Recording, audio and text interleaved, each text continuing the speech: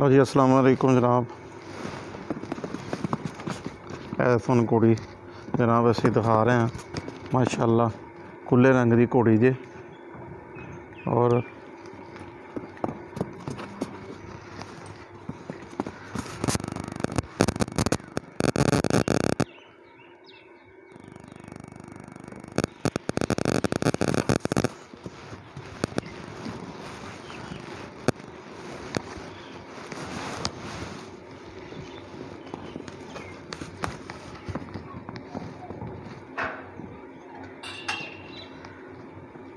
ਮਾਸ਼ਾਅੱਲਾ ਜੀ ਬਹੁਤ ਖੂਬਸੂਰਤ ਔਰ ਸੋਹਣੇ ਜਾਨਵਰ ਨੇ ਤੇ ਮਾਸ਼ਾਅੱਲਾ ਇਹ ਫੋਰ ਸੇਲ ਹੈਗੀ ਹੈ।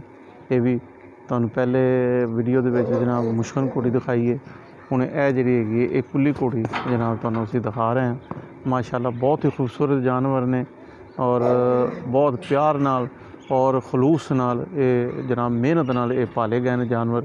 ਤੇ ਜਿਹੜੇ ਤੁਹਾਨੂੰ ਅਸੀਂ ਦਿਖਾ ਰਹੇ ਹਾਂ ਤੇ ਇਹ ਸ਼ੌਕੀਨ ਜਿਹੜੇ ਹਜ਼ਰਤ ਨੇ, ਉਹ ਅਗਰ ਲੈਣਾ ਚਾਹੁੰਦੇ ਨੇ, ਤੇ ਇਹ ਜਨਾਬ ਫੋਰ ਸੇਲ ਹੈਗੀ ਜੇ, ਤੇ ਐਡਰੈਸ ਵੀ ਤੁਹਾਨੂੰ ਅਸੀਂ ਦੱਸ ਦੇਣਾ ਆ ਇਹ ਜੀ ਨੰਦੀਪੁਰ ਜਨਾਬ, ਇਹ ਹੈ ਗੁਜਰਾਂਵਾਲੇ ਦੇ ਕੋਲ, ਤੇ ਉੱਥੋਂ ਉੱਥੇ ਜਾਨਵਰ ਨੇ ਜਨਾਬ, ਤੇ ਅਸੀਂ ਤੁਹਾਨੂੰ ਪਹਿਲਾਂ ਜਾਨਵਰ ਪੂਰਾ ਮੁਕੰਮਲ ਵਿਖਾ ਦੇਈਏ, ਤਾਂ ਕਿ ਜਿਹੜਾ ਹੈਗਾ, ਉਸ ਤੋਂ ਬਾਅਦ ਫਿਰ ਅਸੀਂ ਜਨਾਬ ਮਾਲਕ ਨਾਲ ਗੱਲ ਕਰੀਏ।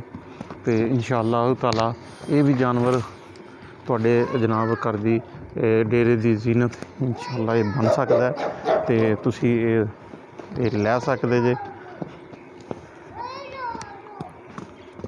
ਤੇ ਮਾਸ਼ਾਅੱਲਾ ਬਹੁਤ ਹੀ ਖੂਬਸੂਰਤ ਔਰ ਬਹੁਤ ਹੀ ਜਨਾਬ ਪਿਆਰਾ ਜਾਨਵਰ ਹੈਗਾ ਜੇ।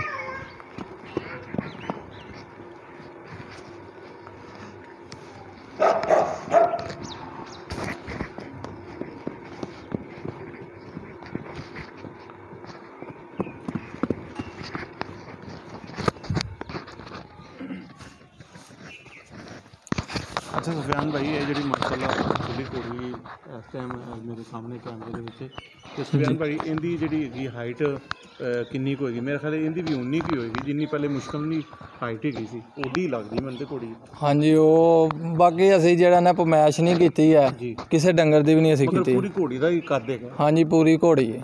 ਜੀ। ਤੇ ਇਹਨਾਂ ਸੁਫਿਆਨ ਭਾਈ ਇਹ ਦੱਸਿਆ ਜੀ ਕਿ ਇਹਦੀ ਉਮਰ ਜਿਹੜੀ ਹੈਗੀ ਹੈ ਇਹ ਇਸ ਟਾਈਮ ਜਿਹੜੀ ਹੈਗੀ ਹੈ ਉਹ ਇਹਦੀ ਉਮ- ਉਮਰ? ਇਹਦੀ ਉਮਰ 5 ਸਾਲ ਤੇ 6 ਮਹੀਨੇ ਦੀ ਉਮਰ ਜੇ। ਅੱਛਾ ਮਾਸ਼ਾਅੱਲਾ। ਹਾਂਜੀ।